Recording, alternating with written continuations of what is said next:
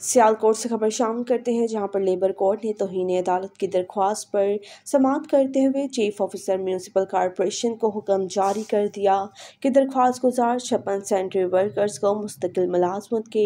तकररनामे जारी किए जाएँ। आज मसीही तहरीक बेदारी के chairman doctor Emmanuel Adil Gori, Mian Anil Rafiq, advocate high court और शाहिद सलहरिया, एडवोकेट ने इस सिलसिले में चीफ ऑफिसर म्यूनसिपल कॉरपोरेशन से